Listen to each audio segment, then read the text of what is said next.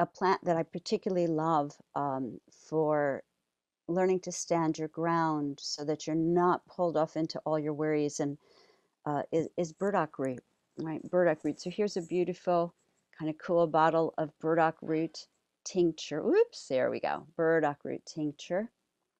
And ah, did you see that? Year made in 2011. Burdock root tincture that's 10 years old. Oh, let me see. Hang on. Oh, yeah. It's beautiful. Smells like good autumn burdock. So, in my book, uh, The Gift of Healing Herbs, my second baby, um, I refer to burdock as the plant that helps us go from being a warrior to a warrior. It goes from being a warrior to a warrior.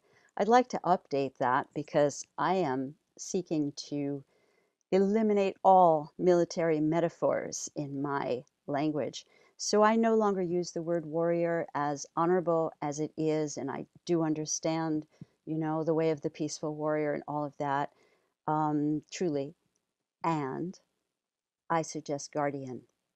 Everywhere I see that I've used the word warrior and others use the warrior, the word guardian works beautifully. It has a different connotation. So I offer that to you. To, so burdock. Burdock is a wonderful grounding guardian. You know, and maybe it's even like you've had an intuition about something, and everybody that loves you or, you know, that you love is telling you, don't do that, or you're wrong, or that's too risky, or whatever, right? Maybe burdock can be one that will help you stand with that deep root that will help you stand your ground, right? I don't know why this is a good idea. I know it sounds crazy. I'm doing it. Support me if you can. If you can't, could you just be quiet, you know, or your version of, of that, um, you know.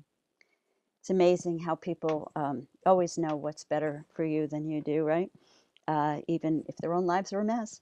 Um, so, you know, if you don't have a sense of humor, you just you're sunk. Have us get a sense of humor. Uh, what plant helps us with that? Um, well, that would probably be our mushrooms. But uh, here we go.